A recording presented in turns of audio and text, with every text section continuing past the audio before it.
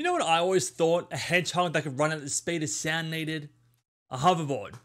That's right, in this spin-off game that released in 2006, Sonic and friends are given what's known as extreme gear, so they can ride and race their way through all of their problems. Too bad no amount of racing will bring your parents back together. Oh. So Sonic Riders is what happens when you want to take an established franchise and make it more extreme. But I must warn you, this game is not for the faint of heart. If you are looking to boot up Sonic Riders and take a trip down memory lane, or you just want to play it for the first time, I highly recommend you do so. But just be aware that this is a much harder game than what you may expect. So let's take a look.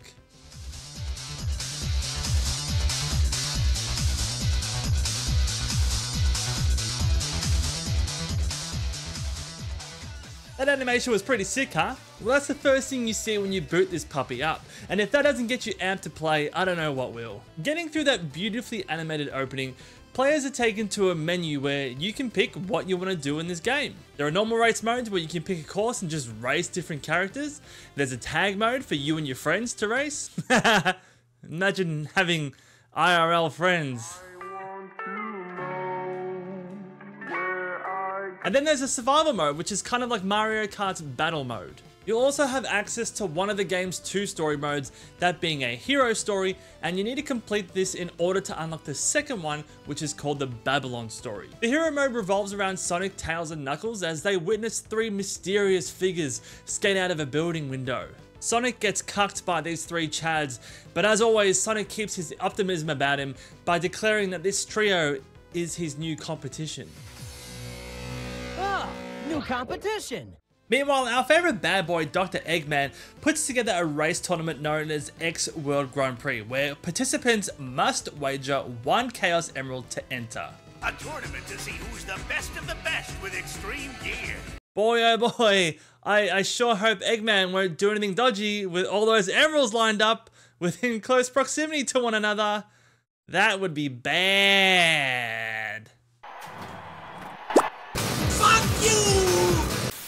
We are then introduced to the other contestants and wouldn't you know it? These are the same guys from two minutes ago. Whoa! Hey, that's the X World Grand Prix, huh? Let's do this! These characters are known as Storm the Albatross, Wave the Swallow, hey, give me a call, and also Jet the Hawk.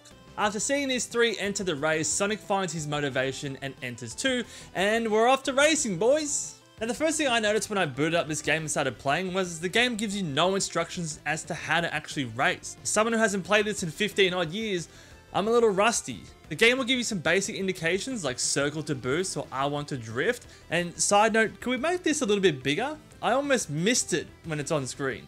But everything else is kind of up to you to figure out. There's no tutorial, and the game really just expects you to know or fail over and over again until you figure it out. Yes, it's a more grinding approach, and one that may turn new players off, but it gave me room to experiment and try things to see what did or didn't work.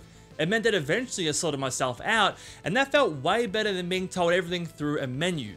Though they take this a little too far as they leave out crucial information, but more on that later. The objective of this game is to basically either win or place in top 3 of each race, and their specific race will tell you which one you need to do. And then in between races, you'll have cutscenes that aim to tell you the story. Well, I don't know. Tails tries to, but...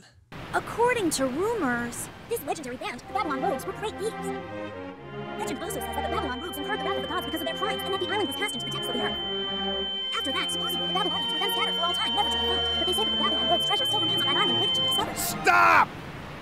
The story is understandably not very deep because the game can be completed in as little as one and a half hours for both story modes, which doesn't leave a lot of time or room for a developing story. So back to the comments I made at the start of the video, this game is difficult. It really just throws you in the deep end and you'll quickly learn that everything in this game is insane. The computers or AI that you race against are ruthless and every track that I raced on felt like I needed to achieve a no mistake run.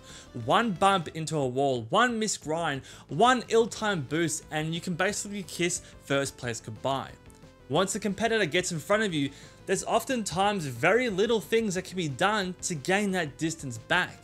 And unlike other racing games, if you fall behind in this game, it's quicker just to restart the race and start again. On the flip side to this though, overcoming these difficult bots through precise racing and learning each track in and out is incredibly rewarding. It just depends on how much of a tolerance you have to stick with the game to optimize each of your runs. You are given some tools that, if mastered, can carry you over the line to victory. You have your boost, and using this depletes this bar. But wait, what the hell is that bar? Why is it beeping at me? Why is my character getting off their board? This is an air tank that basically fuels your boost. It's small at the start of every race, but will grow in capacity with the rings that you collect. At every increment of 30 and 60, the bar will grow. But how do you fill up this bar? Tricks! The more tricks you perform and successfully land, the more rails you grind and the more adventurous you are in your races, the more this bar will fill up. Obviously, the bigger the air tank, the longer your boost, which means you can go faster for longer. And through this tank, I quickly learned the name of the game was not only speed, but doing tricks. Doing tricks, landing them, becomes a necessity if you want to do well here. The game uses the air tank to implement a great risk versus reward system here. If you use too much of this boost, it'll start to flash at you and your rider becomes unstable on their board, letting it drop even further below that and your rider just gets off the board entirely, causing a dramatic drop in speed. So knowing this, you quickly become aware that keeping this bar topped up to a degree is absolutely paramount. The only other way to fill up this bar is to pull into a pit stop, which takes so long and can be quite costly in terms of those precious few seconds. Or the levels will have these kind of moments where you need to spin an analog stick and the bar will refill. There are a surprising amount of things to consider in what looks like a generic racing game on the surface. You also need to take note of the type of character you're playing as too, as this will determine what shortcuts or alternative paths you can take, as well as somewhat dictate how each character controls. There are three types of characters, which are speed, power, and flight. Speed characters can grind on rails, power characters can smash their way through objects to reveal new paths, and flying characters can utilize these boost rings. Each alternative path will fill up your air tank as well as give you a few extra seconds advantage over other characters that went down a normal route. Through the story mode, you don't get a choice in the characters you get to play as, but once you finish the hero mode, you unlock a bunch of tracks and a bunch of playable characters for the other game modes offered in this game. And each character will come with their own unique stats that will change the way how they control compared to other characters. Once you have finished the game, you should have about 16 playable characters. There's also a bunch of extreme gear to unlock and collect and purchase from the store, which again can change the way certain characters play. But let's move into where this game kind of falls short for me. Now I'm coming at this from someone who may be picking up for the first time or is returning back to it after 15 years. Firstly, there's no difficulty options. The comps in this game feel like sweats, so your only option is to memorize each stage and become a god at them, or you just don't progress at all. There's no build up to a higher skill level or higher techniques.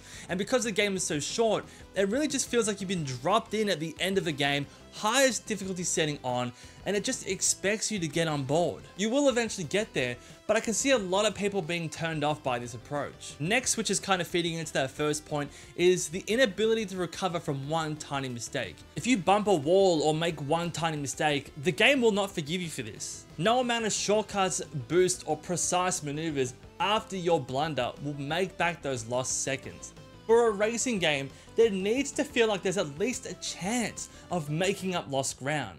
The game is terribly unbalanced in this way. The computer players are either on your ass the entire time when you're in first, or if you slip up just slightly, they're gone. The only real way to win in this game is to get out in first and stay there for the entire way through. If you're racing with the pack, you're going to get absolutely beaten and you will lose 99% of the time. Next, this goes into what I was saying at the start of the video with there being no tutorial. While the game is fairly straightforward, a few things need to be explained at the very least. For the life of me, I couldn't get my speed characters to grind on rails. I was riding into them, I was jumping on top of them, but the character was just not going on the rail. I had to look up and you have to jump and press jump again to attach to the rail itself. It was the cause of so much frustration. Another example where the game doesn't tell you anything are these turbulent tunnels, otherwise known as slipstreams. Jesus Christ, these became the bane of my existence. They're kind of like these little half pipes mixed with grind rails, and while they are fun to use, and can carry you through certain parts of the tracks, I often found myself loathing them. If a character has started a slipstream, especially when just landing from a jump, you have zero control as to whether you do or don't use it. As in, you're using it, fuck you if you thought otherwise, too bad. Or so I thought. When I was scripting this video, I saw someone else have the same problem and they said that if you press L1 and R1, you can actually exit the slipstream. Boy, thanks Reddit user from a year ago for telling me this. Sure do wish the game informed me this while I was playing. There were so many times where I got stuck on these things and it drops me off at the most inopportune moments, where basically it just cost me the race. I'd be dropped off right before a turn leading me to hit a wall or off the side of a cliff. It was so frustrating. With the game being so unforgiving with one simple mistake, with no real way to make up lost ground, no tutorials to explain how to do some pretty crucial things, and basically making it near mandatory to memorize each track to completely optimize each run, the game demands quite a lot from its players. And look, I just wanted to play a Sonic game on a hoverboard. I'm not trying to sweat the game, memorize every level just to beat it. I'm just not that into it. If you are prepared to give this game the patience and attention it's asking for, and you love a challenge, God, it's a fun game. It's so fun. Though if you're looking for a bit more of a casual experience, you might need to keep looking. So let me know down below if you've played Sonic Riders, who was your main character, and if you remember the game being this difficult, or is it more of a case of me just being shit? Like the video if you liked the video, sub to the channel for more, and thanks to the Ko-fi supporters on screen now. I'll catch you guys in the next one.